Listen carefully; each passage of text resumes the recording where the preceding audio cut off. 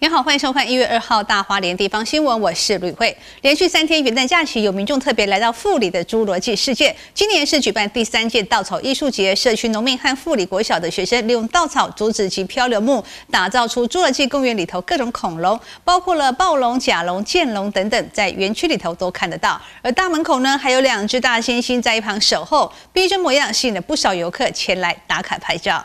被守门员、巨大猩猩抱在怀里，还有各种大型恐龙陪在一旁，你能想象这全是用稻杆竹编以及漂流木刻画出来的模样吗？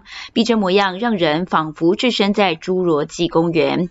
布里乡举行第三届稻草艺术节，找来社区农民以及布里国小学生一起动手玩创意。我觉得很有创意啊！对那个创意很可爱吗？嗯，可是他不是只有想到恐龙，他还把。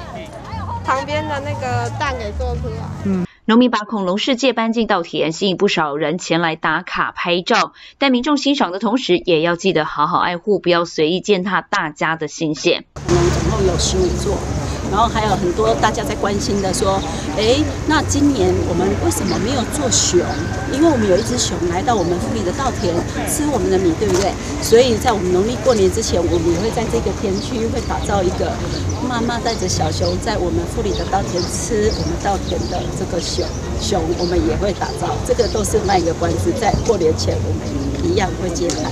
趁着好天气，廉价出游，园区涌现人潮，民众来回穿梭打卡拍照。展期预计到今年暑假，农会也邀请游客一同穿越时空，回到侏罗纪时期，来场奇幻冒险。